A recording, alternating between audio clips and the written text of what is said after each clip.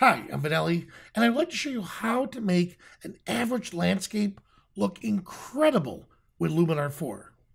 I'm using a beta version of Luminar 4, so the interface may slightly change, but the concept will remain the same.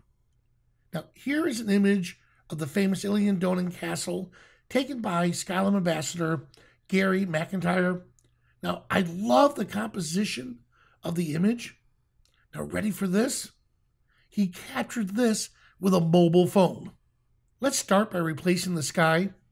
New to Luminar 4 is the AI sky replacement tool, which is part of the creative tools.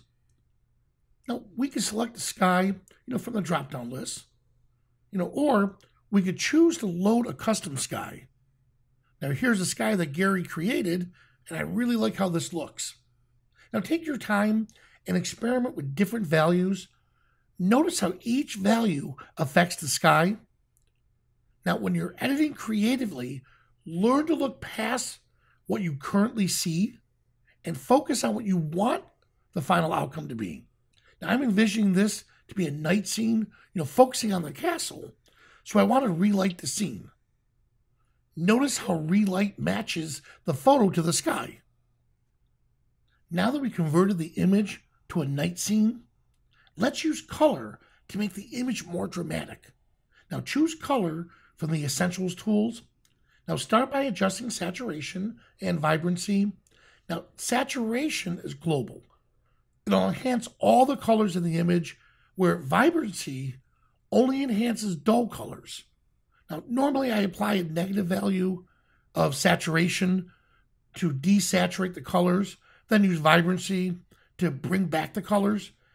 However, for this image, it benefits from both saturation and vibrancy. All right, now we're going to direct the light with a vignette. Now, normally a vignette just darkens or lightens the edges of an image to help draw attention to an object. Now, Luminar's vignette tool adds an extra feature called inner light. When this is applied, you can't help from saying, wow, now, here's a trick with working with vignette. I like to take the amount slider all the way to a minus 100, along with the size. Now I can see exactly where the vignette will affect the image. Now I'm going to click Choose Subject. And now I get to pick where I want the vignette to focus on. I like it right about there. And then I'm going to click Done. And under the Advanced Settings, I'm going to adjust the roundness to bring it in, and then the feather just to make it look a little softer. Great. Now I'll come back to the amount and we'll dial it back along with the size.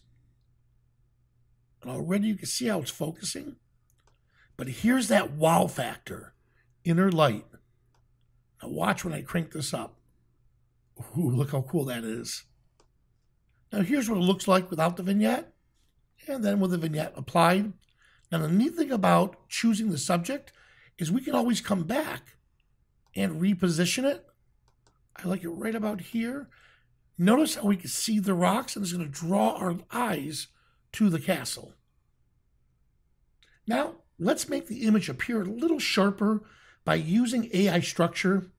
Now, AI Structure is one of Luminar 4's newest essential tools. It boosts hidden details and improves local contrast where needed without damaging the rest of the photo. Now, this makes the image just appear sharper.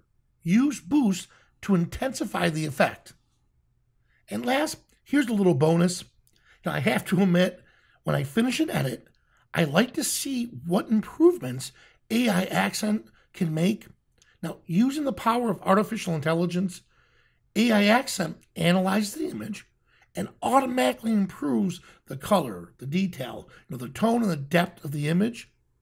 Good for this image, I think a small value adds just a little extra. Now, here's the original image, and now the image after applying just a few tools in Luminar 4. For more information or to order your copy of Luminar 4, visit skylum.com. Lon Vanelli, thank you for watching.